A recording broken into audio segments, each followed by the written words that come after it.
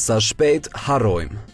Madje edhe ngjarjet më madhore të sportit të Kosovës, të cilat fillin e kanë që nga viti 1991. Harrojmë ata të cilët e bënë futbollin e Kosovës që të veprojë shqip dhe themi historia nis nga unë.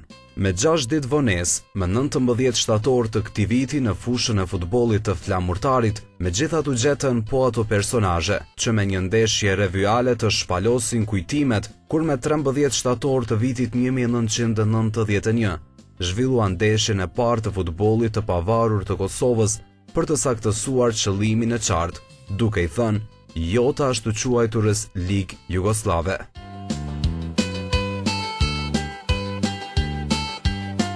Nuk është me rëndësi rezultati.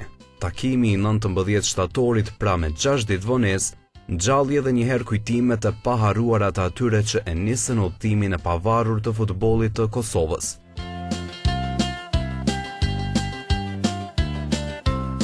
Të bëjmë pak kronologji. Janë tri ndeshje historike që e bënë të paharruar futbollin e pavarur të Kosovës, që të trijat kanë bërë edhe kthesë të jashtëzakonshme.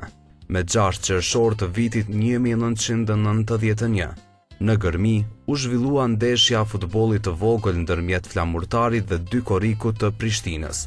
Nga kjo ndeshje, u mbajt edhe protokolli i nënshkruar nga Sejdi Mërkoja, pati fituar Flamurtari me rezultat 4 me 1. Me 20 gusht të vitit 1991, në Studençan luajtën Liria e Prizrenit dhe Ballkani i Therandës. Ndeshja u mbyll me rezultat një me një.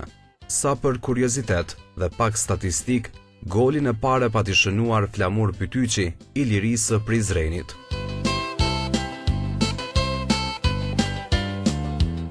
Pas vendimit për veprimin e pavarur të futbollit të Kosovës, Prishtina dhe Flamurtari me 13 shtator të vitit 1991 zhvilluan takimin tjetër historik, që shënoi fillimin zyrtar të kampionatit të parë të pavarur të Kosovës.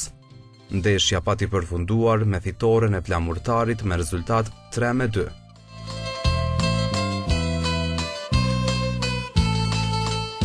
Brezat që po vijnë ka nevojë t'i njohin të gjitha ato figura madhore që nga punëtorët sportivë, trajnerët, sportistët, donatorët, ata që shitën tokën për ta mbajtur gjallë skuadrën, ata që dhanë fushat, arat, livadhët që u shëndruan në arena të lojës.